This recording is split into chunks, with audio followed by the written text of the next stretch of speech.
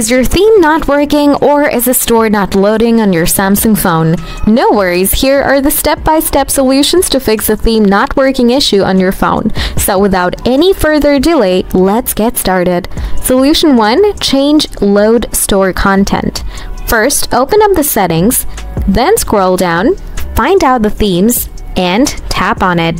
Now tap on menu from the bottom right corner. Next, tap on the settings icon from the top right corner. Then tap on load store content. Make sure to select using Wi-Fi or mobile data.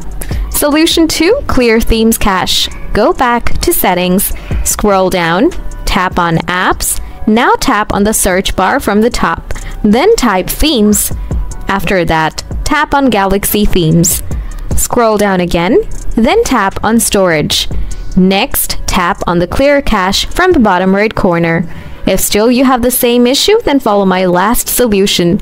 Solution 3. Check your software update. Go back to the settings page again, find out the software update option, and then tap on it. Then tap download and install. If you have any updates available, then it will start downloading automatically. So guys, this is how you can fix the theme not working issue on your Samsung phone. If you have any queries, drop them below. Thanks a million for watching.